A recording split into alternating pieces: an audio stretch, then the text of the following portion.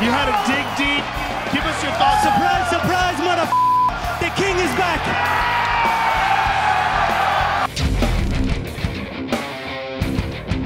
We're going to bring Jose into the octagon. You will be fighting him next for the title. Give us your thoughts on that now.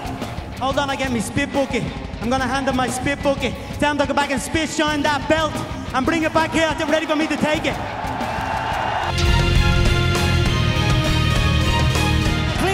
The Irish. I said it last year. We're not here just to take part. We're here to take over.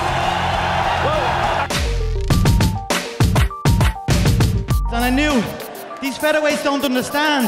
Until they get hit by me, it's a whole other ball game when they get hit by me.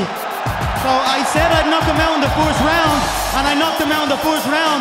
You can call me Mystic Mac because I predict these things. And I brought my whole country with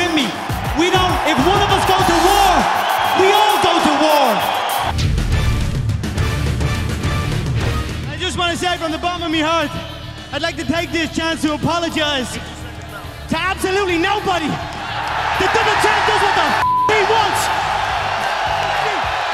Seat. Let me raise this mother. What I want to do. This what I dreamed into reality. Oh, that looks good. That looks good. God bless. Conor McGregor, congratulations. It's been an honor calling your fight, sir. Thank you very much. You're, welcome. Conor McGregor, ladies and gentlemen.